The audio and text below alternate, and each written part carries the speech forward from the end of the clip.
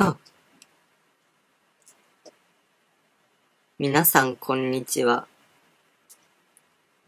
僕の名前は、えー、カロ、うん、ス、スーパーカロフラジリスティックエクスピアリドーシャス。5世だよ。僕はカロンであるにもかかわらず、死んだら復活できないカロン界の落ちこぼれなんだ。だから、仲間からもいじめられて、こうして、現世に追い出されちゃったんだ。うん。うん、うん。僕は死んだら復活できないから、死なずにネザー要塞まで行かなきゃいけないんだ。僕の人生は今までいいことなんてないし、いつでもハードモードだったんだ。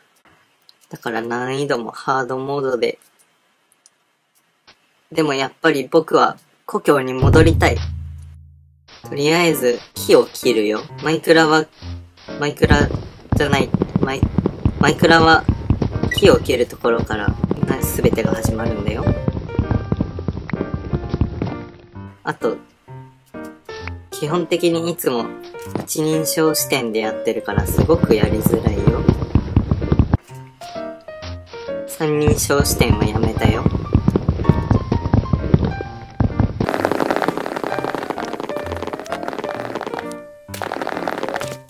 ハードモードは初めてやるからと、とても怖いよ。まず死なないためには夜は必ず寝ることが一番大事だと思あ、あうん、すごいうなり声が聞こえるよ。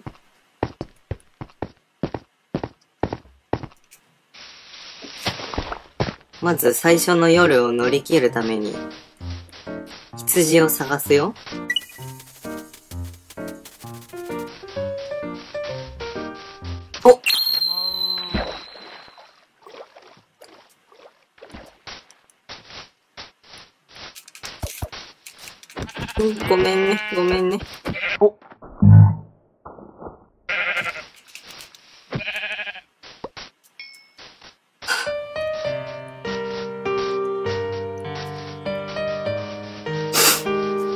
んな落ちこぼれの僕のために、ごめんよ、羊たち。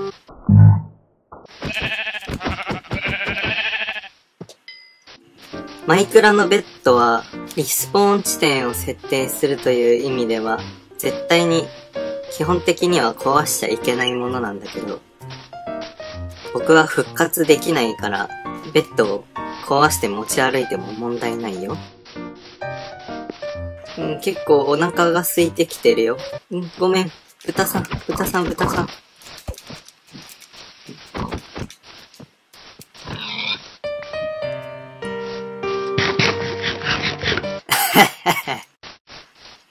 あ、あ、あ、あ、あ、いいところに。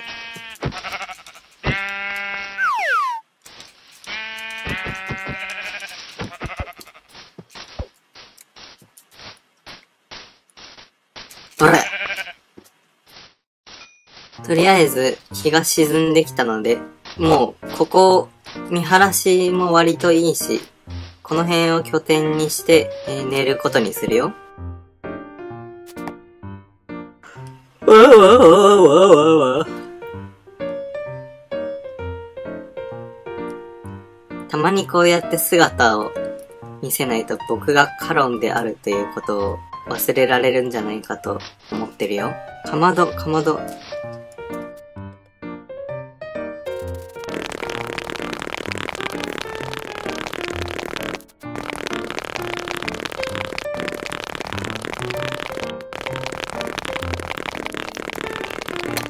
石がとても豊富で助かったよ。とりあえず動物、周りにいる動物たちを、なんか、捉えた方がいい気がしてきたので、捉えるよ。よしよし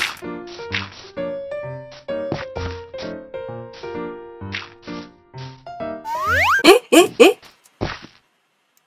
おー一段あるじゃん。二日目は、お家の建築と農場の整備に入ろうと思うよ。お家はとりあえず丸石で作るよ。あ、あと周辺の湧き潰しもとても大事だと思うよ。基本的には湧き潰しもいらないくらいに、夜はすぐに寝て、怖いゾンビ先輩やスケルトン先輩に襲われないようにするという方針だよ。え、え、えあ、お腹空いてるんだよ。お腹が空いてるんだよ。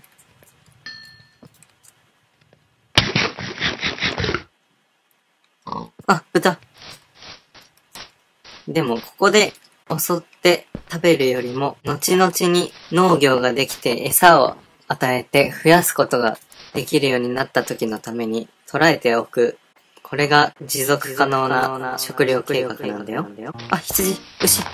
あ、牛がうまくトラップドアに引っかかって入ってくれたよ。羊も捉えたよ。このトラップドアは、普段はその上に乗ることができるんだけど、こうやって閉めておくと、自分以外の動物たちや敵のモブは、ここに地面があると思って、間違って落ちてくれるよ。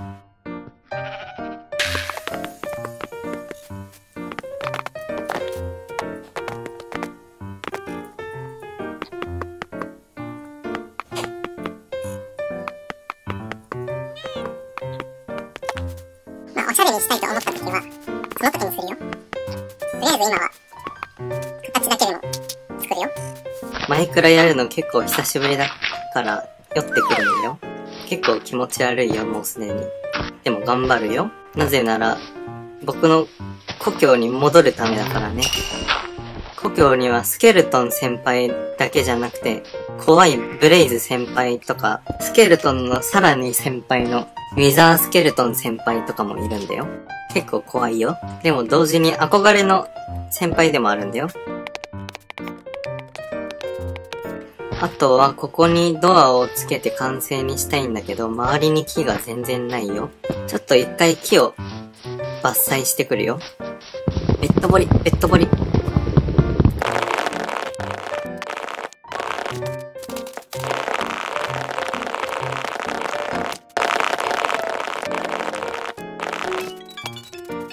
これから木を切るたびに移動するのはちょっとめんどくさいので、うーん。めんどくさいので、苗木を手に入れておくよ。向こうで植林もするよ。植林、農業、畜産、そういう生活の基盤がしっかりできてから洞窟探検に行ってネザーを目指すよ。あちょっと暗くなってきたから早く帰って寝るんだよ。もうだいぶ暗いよ。敵が現れてもおかしくないよ。敵とか言っちゃったよ。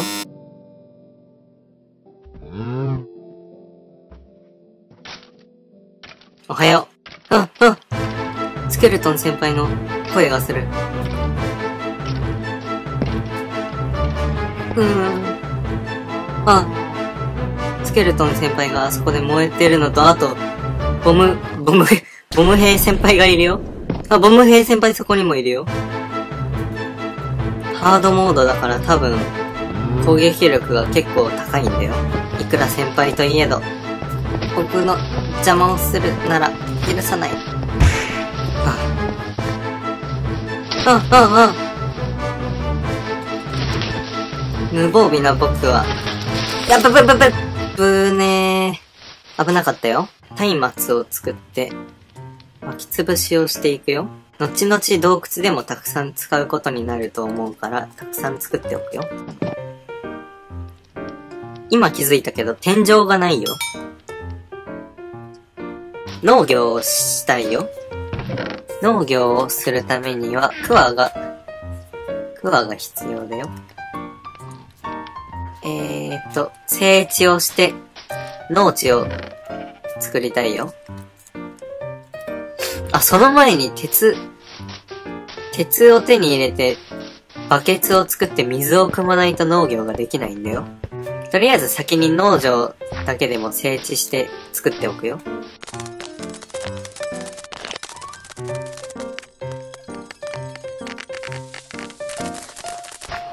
とりあえず農場はこんな感じで完成にしておくよ。生活の基盤を固めてから洞窟に向かうなんて結構それっぽいことを言ったけど結局生活の基盤を固めるためには鉄が必要だから鉄を取るために洞窟に向かわなきゃいけないんだよ。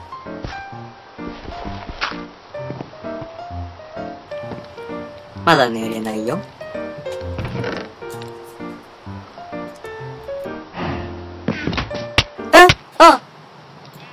焼いた羊肉が消えたよ。結構痛いよ、それは。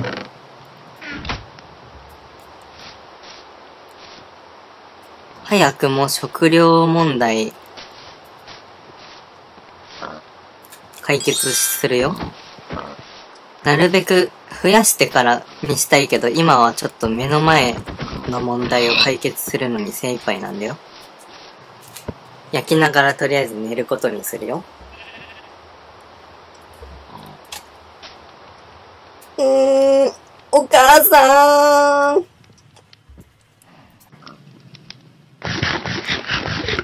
焼肉めちゃくちゃお腹満たされるよ。じゃあ、まず、鉄を見つけるために地下掘っていくけど、ここがちょうど石炭を掘るために穴が開いてるので、ここを入り口とするよ。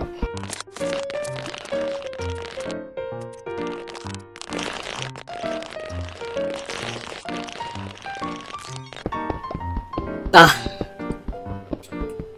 よく考えたら、拠点の座標が結構高いから、地下まで掘るのにめちゃくちゃ時間かかるのにこんなに広い道にしてしまったよ。まあ、石がたくさん手に入るからいいんだよ。僕みたいな落ちこぼれこそ、プラス思考が大事だよ。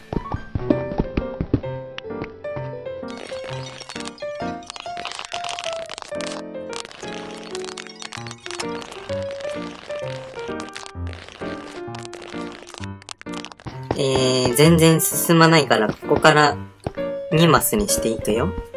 一応マイクラ歴は2年くらいあるから、直下掘りはしないとか、そういう基本的なことは抑えているつもりだよ。こうやって YouTube に動画にするからには、結構破天荒なプレイが面白いとは思うんだけど、僕はそんな勇気もないから、めちゃくちゃ慎重に行くよ。あ、もう暗くなってきたよ。早く寝るよ。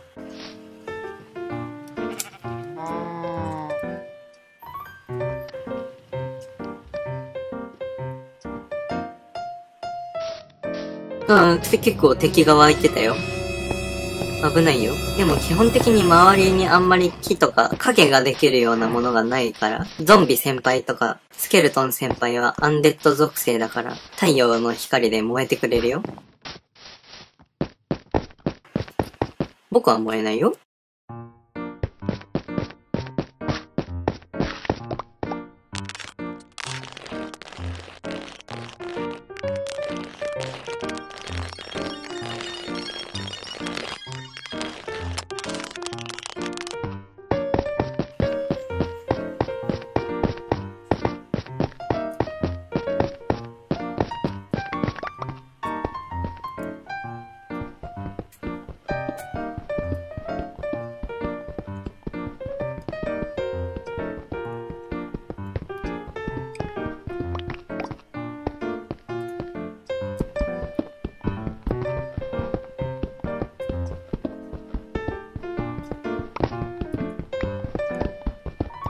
あ、鉄だよ、鉄だよ。鉄がようやく来たよ。うん、バケツ。バケツ3個でよかったよ。じゃあ、早速水を汲みに行くよ。一応、近くに無限水源を作っておくよ。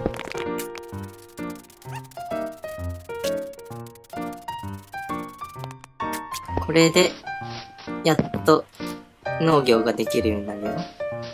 近くに水がないと土が乾いてしまうんだよ。耕して、耕して、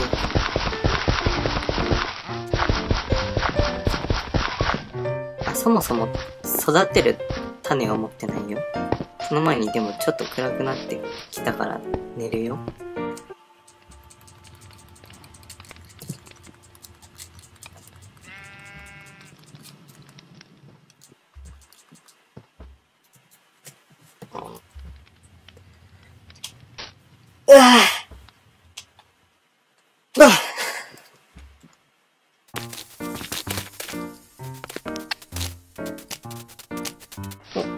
種が6つ、6つ手に入ったから、とりあえずこれを元手に農業をするよ。